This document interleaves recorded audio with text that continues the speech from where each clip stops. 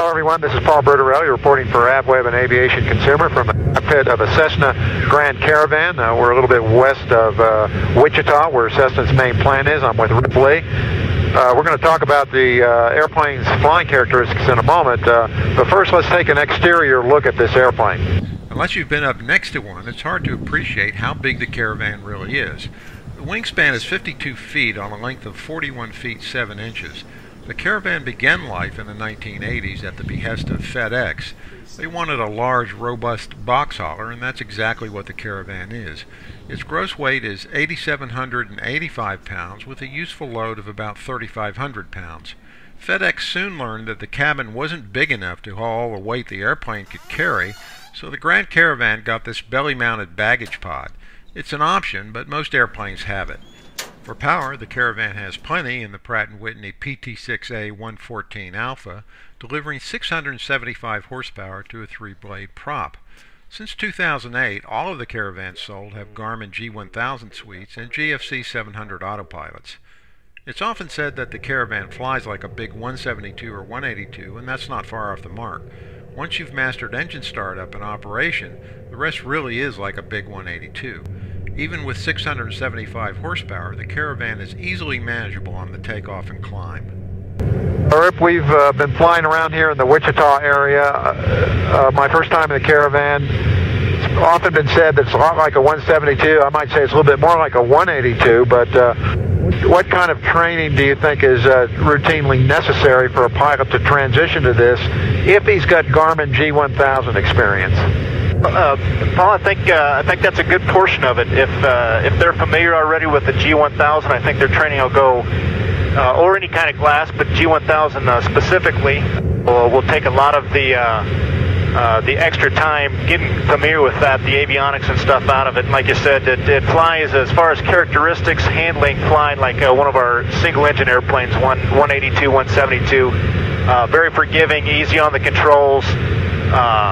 And uh, the, the, systems are simple in the airplane, uh, learning those, but it's uh, basically we go through a, a five-day course with uh, with flight uh, safety uh, that we do, and, and coming out of there, you're, you're qualified in the airplane. the airplane has plenty of power. It has a PT6 114 Alpha. Uh, engine management is very simple. Uh, basically, you got to watch the uh, ITTs and work limits, but everything is annunciated on the Garmin, and I noticed on takeoff it's already bugged, so I just have to move the power lever up to the bug value and then just pay attention to the airspeed. Right, just uh, pay attention to that, and, and like I said, everything is monitored on the airplane.